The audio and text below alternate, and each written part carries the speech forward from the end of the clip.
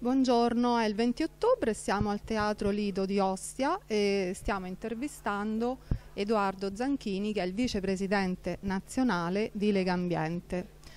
Ad Edoardo Zanchini vorremmo chiedere, allora in Italia eh, esiste una normativa già dal 2006, la legge 296, che prevede che il 50% delle nostre coste, delle spiagge, in particolare non delle coste, delle spiagge, deve essere destinato a spiaggia libera.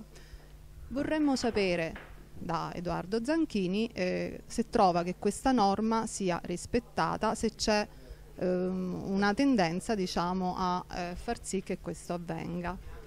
In teoria c'è questa legge, eh, poi ci dobbiamo ricordare che in realtà le spiagge sono di tutti, cioè le spiagge sono un bene demaniale inalienabile, quindi sono di tutti noi. In realtà nel nostro paese negli anni è andato crescendo il numero di stabilimenti in modo tale per cui oramai quasi il 60% eh, delle spiagge in media in tutta Italia è in concessione e quindi in molte parti è proprio inaccessibile. Questo vuol dire che se il 60% è in media sono delle zone in cui addirittura si arriva al 90%, ci sono dei tratti di chilometri e chilometri in cui praticamente è vietato accedere alla spiaggia senza pagare. Questo in tante regioni italiane. Anche nel Lazio purtroppo ci sono molti comuni, molti tratti in cui è praticamente impossibile accedere al mare senza pagare, è un'evidente ingiustizia. Eh, la regione Lazio ha approvato appunto una norma che prevede che almeno il 50% della spiaggia sia sia libera. Eh, il problema è che nessuno è ancora mai entrato dentro il, quelle che sono le regole appunto in cui i comuni hanno definito eh, questi spazi e quindi abbiamo situazioni anche a Roma, a Ostia, in cui per chilometri tu hai di fronte dei muri eh, che ti fanno quasi pensare che in effetti quella è un'area privata. Non è un'area privata, noi abbiamo il diritto di entrare in quella spiaggia, di andare al mare, di sdraiarci gratis e quindi chiediamo appunto che questa legge venga fatta rispettare. Allora, non soltanto ehm, sulle spiagge libere il cittadino ha diritto di sdraiarsi, eh, ma sempre ai sensi della legge 296 del 2006 ha diritto di farlo anche negli stabilimenti. Allora, eh, richiamavi la, la, legge regionale numero 8 eh, che prevede appunto il 50% di spiagge libere. C'è un emendamento del professor Fabiani che dice che questo 50% di spiagge libere all'interno di un comune deve oltretutto essere organizzato per comparti. Mi spiego, qui a Ostia eh, non è che il 50% di spiagge libere ce lo devono dare verso l'idroscalo, il 50% anche nella fascia del eh, centro storico. Allora, mh, mm, ci siamo sempre posti una domanda, non so se eh, tu hai eh, dato una soluzione. Quando si parla di 50%, come deve essere inteso? Nel senso della lunghezza oppure nel senso dei metri quadrati, il 50% di spiagge libere?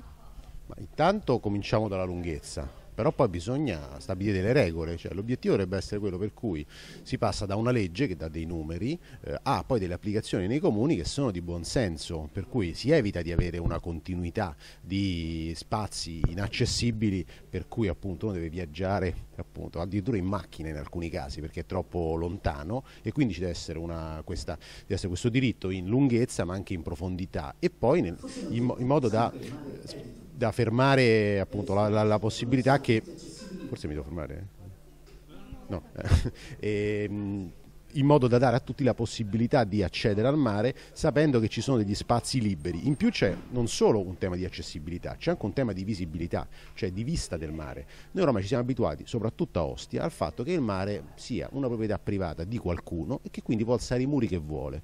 Eh, e quindi appunto questo lungo muro, perché il mare è proprio invisibile. Non è così, cioè, quella spiaggia è in concessione, è il comune che decide come deve essere fatto il muretto durante i mesi invernali, come, viene, come devono essere gestite quelle aree. In larga parte d'Italia, eh, nei mesi da ottobre a aprile, quelle spiagge sono accessibili, ci si può andare a fare le passeggiate, si può vedere il mare, può, ma sono di tutti noi, per cui appunto quando non sono attrezzate devono essere libere. Perché questa cosa non succede a Ostia? È del tutto inammissibile, per quello anche questa cosa deve essere cambiata. Posso fare una domanda cattiva? Allora, in merito a tutte queste eh, denunce, a tutte queste denunce delle situazioni, intendo dire che da anni Lega Ambiente ha rilevato, mi ricordo anche di un libro bianco fatto da Lega Ambiente su eh, la, le spiagge di Ostia. Quali sono state le iniziative giudiziarie? Cioè se lì c'è un muro, questo muro è abusivo, c'è un PUA del 2005 che prevede che i muri di recinzione verso l'esterno possano avere altezza non superiore a 90 cm e debbano essere non in muratura ma con decoroso sistema a giorno. Legambiente in tutti questi anni ha denunciato, senz'altro, ma alla Procura della Repubblica eh, o presso altre magistrature che cosa ha fatto eh, rispetto appunto a questo lungo muro? Ahimè, questa è la triste storia di Ostia e poi vediamo anche dalle cronache eh, il fatto appunto che ci sia stata una collusione evidente tra il, chi gestiva qui il, il municipio, il, tutto il sistema appunto che controllava e che ancora controlla in larga parte il sistema degli stabilimenti, un sistema di interessi fortissimo che riusciva anche appunto a evitare che poi certi denunce andassero avanti. Noi questo non dobbiamo accettare, cioè anche di fronte a questo muro di omertà in questo caso, oltre al muro che c'è di fronte al mare, non lo dobbiamo accettare perché è un diritto di tutti tutti noi dobbiamo andare fino in fondo. Tra l'altro oggi la, la, la forza dei, appunto, di questi interessi eh, si è indebolita e noi dobbiamo sfruttare il, dire, anche un'opinione pubblica che chiede tutto questo, anche perché poi dire, se tu chiedi alle persone di Ostia eh, se sono felici di questa situazione, non lo sono affatto, solo che appunto è questa omertà, questo tentativo di abbassare sempre appunto un muro di silenzio sopra queste denunce che noi dobbiamo riuscire a sconfiggere tutti assieme e appunto farlo con tutte le associazioni e tutti coloro che si sono battuti in questi anni è sicuramente quello che dobbiamo sicuramente fare nei prossimi anni. Grazie, grazie a Edoardo Zanchini, grazie a Liberi TV.